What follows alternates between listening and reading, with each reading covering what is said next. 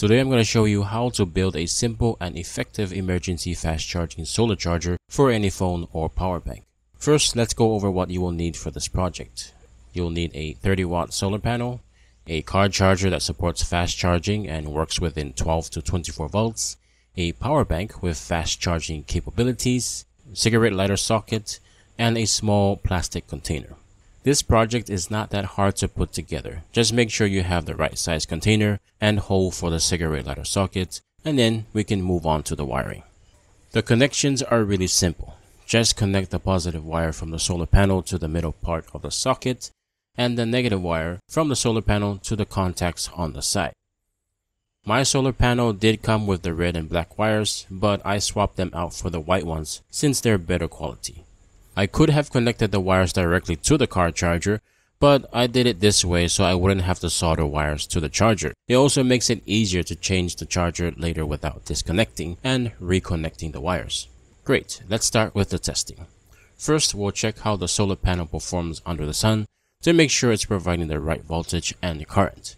Right now, it's showing about 18 volts and 1.7 amps, which is good.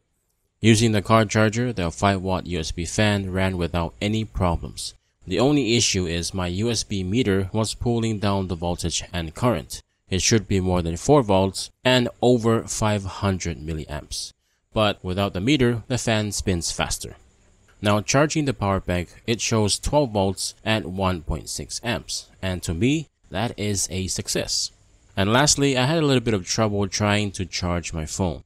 For some reason, if I push the USB meter too far in, it won't let me charge the phone higher than 5 volts. So I had to wiggle it around and now it's charging at 8.6 volts and 1.5 amps. To me, that is also a success. You're probably wondering why I keep using the meter.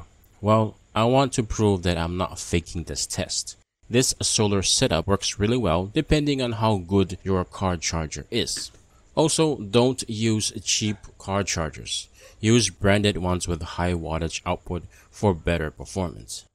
In conclusion, everything is working. With a bright sun and clear skies, you'll be able to charge any phone or power bank quickly, assuming your device supports fast charging.